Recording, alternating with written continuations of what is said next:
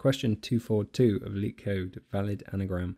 So given two strings s and t, return true if t is an anagram of s and false otherwise. An anagram is a word or phrase formed by rearranging the letters of a different word or phrase, typically using all the original letters exactly once. So in the first example, we have anagram and nagaram, which returns true because if you see all the values within s are within t and there is no remaining values. Rat and car in the second example is false because we have two letters in each which don't add up, right?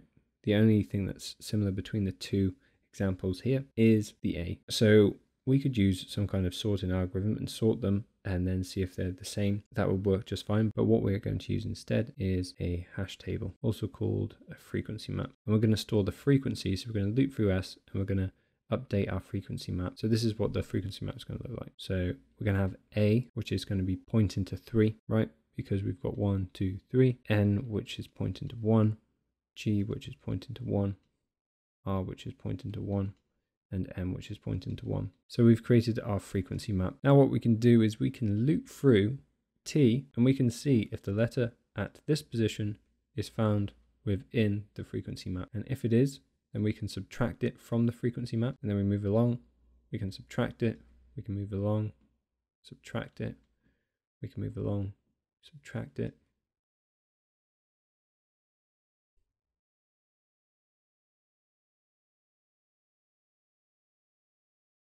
And then once this is complete, if we pass all the tests that we have in our for loop, checking the frequency map, then we can return true, right? But say we have an A here, we get to the A, this is going to go to minus one. So we need some conditional logic, which is going to say if so if map at letter is less than one, just return false. Or if it's undefined, return false. So the way this algorithm set out, time complexity would be on, where we create the hash table. So we have to loop through each value within string in order to create the hash table. So that's going to be of n times. So it's going to loop through the entire string plus m, where m is looping through the entire t string. And then space complexity is O of n because we're storing all the values of string s within our hash table, which we created. So firstly, before we add any code, we can take care of an edge case, right? So if s.length doesn't equal t.length, then it's not going to be a valid anagram because they're not the same length. Then we need to initialize a map. So our hash table, which is going to be an object, we need to loop through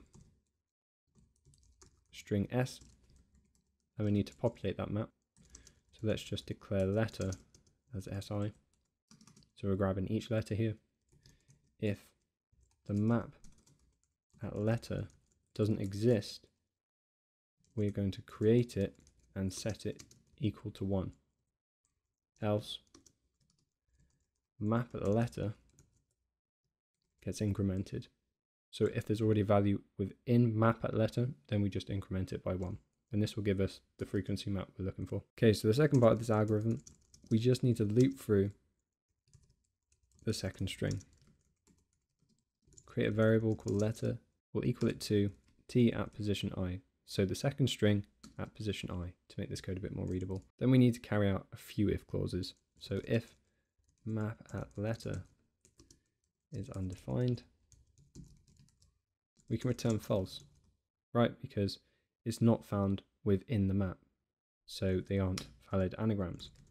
If map letter is less than one, we can return false because there's more of the same letter in one string than there is in the other. So return false and then map letter decrement. So if we pass the first two if statements, then we need to decrement from map at that letter's position. And if we pass all that throughout the entire for loop, we can return true because that will essentially be a valid anagram. Let's run this to see if it's worked. Okay, let's submit it. Okay, and there you have it.